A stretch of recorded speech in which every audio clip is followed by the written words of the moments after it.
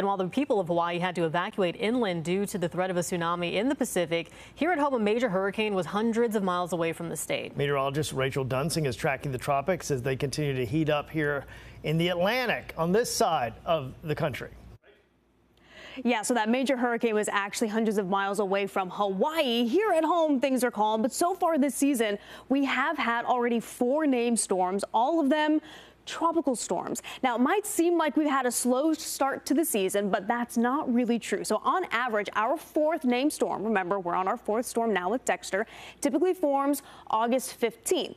Technically, we're about 10 days ahead of schedule. And while we have not had our first hurricane yet, again, that's not really all that unusual. We typically don't have our first hurricane until August 11th. Now, what we do have is a bit of re recency bias because the past few hurricane seasons have been so active so early, but at least for now, we're not far off of where we're supposed to be. So let's check in with what's brewing, shall we? So in addition to Tropical Storm Dexter, this is the area off the coast of the Carolinas as being monitored for tropical development development, odds are now up to 40%. Now, the next wave is deeper in the Atlantic. These odds for development are up to 50%. So could these waves possibly develop into some tropical trouble? Now, right now, water temperatures are warm enough to support quick tropical development. This eastern wave, however, does have to go through some slightly cooler water before it can really be able to tap into the ocean's heat. Now, wind shear, that's kind of hit or miss. So what you're seeing here, these colorful arrows are where the winds are strongest the mid and upper levels of the atmosphere.